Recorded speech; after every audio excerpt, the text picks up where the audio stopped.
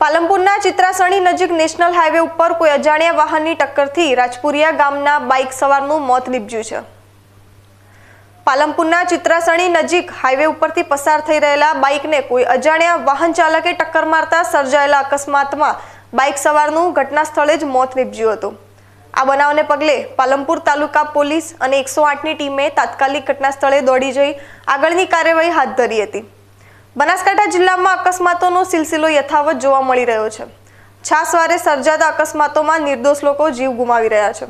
ત્યારે આજે પાલનપુરથી આબુ તરફ જતા હાઈવે પર ચિત્રાસણી નજીક કોઈ અજાણ્યા વાહન ચાલકે બાઇકને ટક્કર મારતા સર્જાયેલ અકસ્માતે પણ બાઇક સવારનો ભોગ લીધો છે.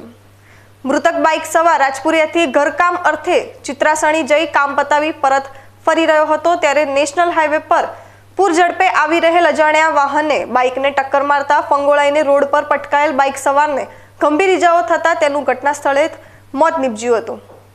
આ બનાવને પગલે ઘટના સ્થળે દોડી ગયેલા સ્થાનિક લોકોએ પોલીસને જાણ કરતા પાલનપુર તાલુકા પોલીસે તાત્કાલિક ઘટના સ્થળે પહોંચી આગળની કાર્યવાહી હાથ ધરી હતી.